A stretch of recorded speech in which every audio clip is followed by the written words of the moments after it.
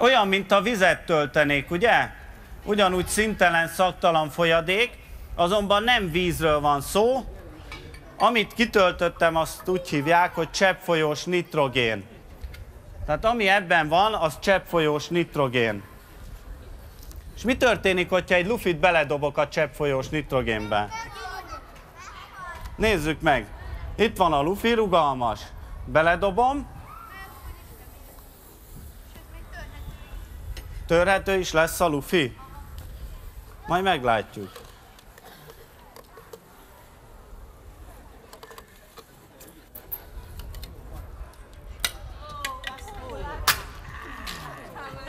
Hát szét lehetett törni szegény lufit. Tehát tényleg megállapítható, hogy ez nagyon alacsony hőmérsékletű, és a lufit is nagyon gyorsan le tudta hűteni, rideggé, törékenyé vált, és amikor rátapostam, eltört.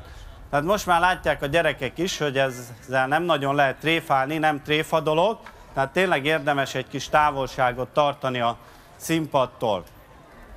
Nem szóltatok, hogy mindjárt kidurran a lufink. Annyi széndiokszid gáz keletkezett, hogy szépen felfújtak. És mit csináljak? Vegyem le, hogyha leveszem, akkor persze kijön belőle a széndiokszid, de én nem akarom, hogy kijöjjön, hanem azt szeretném, hogyha újra ilyen jég lenne belőle. Az hogyan lehet megcsinálni? Úgyhogy elkezdem hűteni.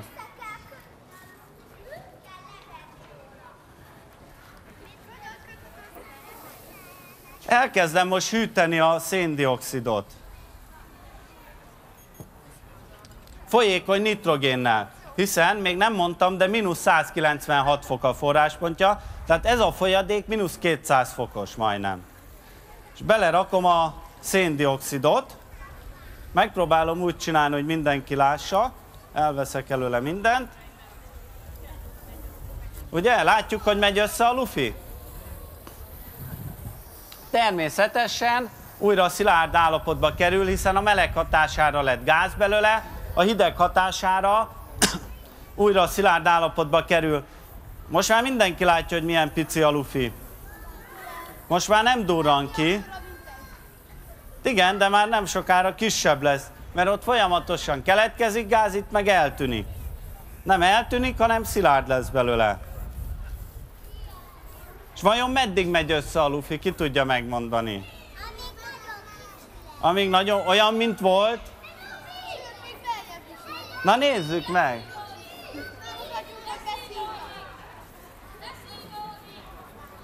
Ott meg egy fölfelé szálló lufi. Az nem az enyém. Nekem tudod, hogy narancssárga lufik vannak. Most figyeljen mindenki szerintem. Most egy furcsa dolog történt. A lufi belemászott a lombikba. Teljesen kibéleli belülről. Tehát a lufi úgy döntött, hogy belemászik a lombikba. Ennek az a magyarázata, hogy a külső levegő szépen belenyomta hiszen mondtam, a levegőnek van nyomása, belül nem volt levegő, és kintről ez a sok levegő szépen belepréselte a lufit a lombikba. Ugye láttuk, hogy volt egy olyan lufi, ami fölfelé szállt. Azért szállt fölfelé, mert olyan gáz volt benne, ami könnyebb, mint a levegő. Ha megnézzük ezt a lufit, ez merre megy? Ez lefelé. Mégpedig hogy megy lefelé? Nagyon gyorsan ebben nem levegő van, ebben egy nehéz gáz van. Be is fogom bizonyítani. Héliummal nem egy nagy kunst, azzal nagyon sokat lehetett már hallani. Tehát ez nem hélium. Ezt úgy hívják, hogy kénhexafluorid. Jó? Most mindenki hallgasson, hogy füleljen. Tehát ez egy nehéz gáz. Elmondom, hogy mik a jellemzőik amik ennél a kísérletnél fontosak. A kénhexafluorid a levegőnél körülbelül ötször nehezebb gáz, és ezért a hangterjedési sebessége körülbelül fele akkora, mint levegőben. És ez okozza azt, hogy a hangom sokkal mélyebb tónusú lesz. Aki már hallott valakit beszélni héliummal, az tudja, hogy ott pedig pontosan ellenkező hatást érünk el ott sokkal magasabb lesz a hang. Tehát még egyszer mondom, olyan anyagot szívok be, amiben a hang lassabban terjed, mint levegőben, akkor ilyen Darth lesz a hangom. Tessék? Hát igazából én viszonylag ritkán szoktam beszívni, általában megkérek valakit, de egyszer-kétszer biztos, hogy, egé- hogy nem káros az egészségre, egy nagyon stabil molekulájú anyag. Ki az, aki elég erős? Tehát a, gyerek, tehát a nagyobb gyerekek közül, akinek erős a tüdeje. Te ismered ezt a palackot?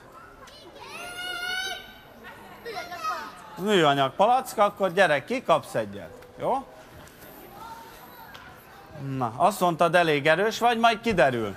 Nekem is van egy palackom, kapsz egy lufit, jó? Úgyhogy mindenki lássa, próbáld berakni a lufit a palackba. Ugye? Yeah. Sikerült, és utána húzzuk rá a palack szájára. Jó. Elmondom, mi a feladat. Gyerekek, számoljatok háromig. Mondjátok azt, hogy egy, kettő, három. Háromra elkezdjük fújni a lufit bele a palacba. Elég erősen kell fújni, hiszen befelé nehezebb, mint kifelé. Ha összeszeded magad, akkor biztos, hogy sikerülni fog, vagy majd meglátjuk. Valaki pedig, akinek van órája, mérjen 10 másodpercet, tehát amikor elkezdtük, mérjen 10 másodpercet, mondjuk te, és 10 másodperc után mondjátok azt, hogy, vagy mondjad azt, hogy állj. Utána már tilos fújni, és az nyer, akinek nagyobb a lufia, jó?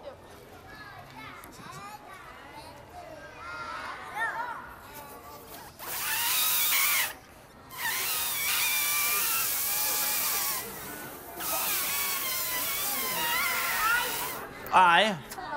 Na? Ki nyert? Vörös lett a fejed.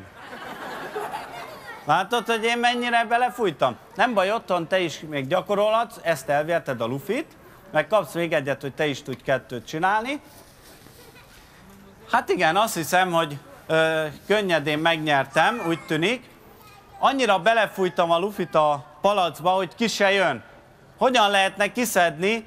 Azt hiszem, hogy egy fogót kell előszednem. Tehát annyira, tehát annyira nyerni szerettem volna, hogy úgy belefújtam a lufit, hogy nem jön ki. Még itt se jön ki. Megfogom egy fogóval a levegő végét. Ugye látjuk, hogy jól megcsíptem a levegő végét, és elkezdem erősen húzni.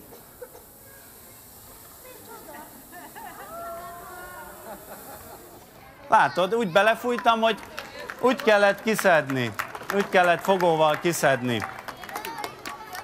Azért szerintem a nagyobbak közül sejtik, hogy itt valami turpisság van, hiszen egy palacba nem lehet befújni egy lufit, hogyha benne levegő van és nem tud távozni, hiszen a levegőnek, mint említettem, nagy a nyomása, tehát nem nagyon szereti, hogy össze. Pontosan én a ravasz módon a saját palackomra furtam egy picike kis lyukat, persze úgy, hogy ne lehessen látni. Itt van egy kis lyuk. Ha befogom a lyukat, akkor nekem is csak a fejem vörösödik, a lufi mérete nem növekszik. Ha azonban szabadon engedem, hogy a felesleg kijöjjön, akkor szépen föl tudom fújni a lufit, sőt, amíg befogom a lyukat, ki se jön. Tehát, hogyha szeretnél egy ilyet csinálni, és valakit megviccelni, akkor ne feledkezz meg a lukról. Hát csalásnak csalás, de legalább megtan... vigyázat, legalább megtanulod, hogy a levegővel nem nagyon érdemes kekeckedni.